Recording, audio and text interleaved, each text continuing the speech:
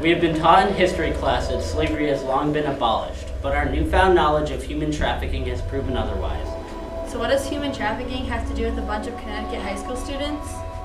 We believe that as long as we are humans, we have a moral responsibility to address human rights issues that are happening around the world.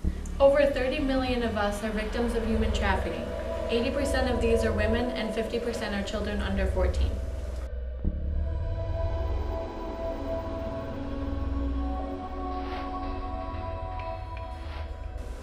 According to the Council of Europe, people trafficking has reached epidemic proportions over the past decade, with a global annual income of $42.5 billion.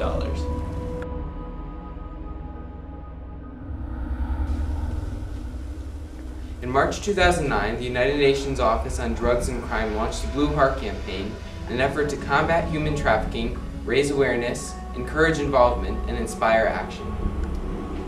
We feel that treating the core causes of human trafficking poverty, political instability, armed conflicts, domestic violence, lack of access to education is the best way to treat this monstrosity.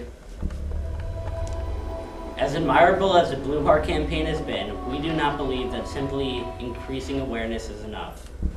We implore the UN to address these causes and problem areas of human trafficking by combating the root sources of this modern form of slavery.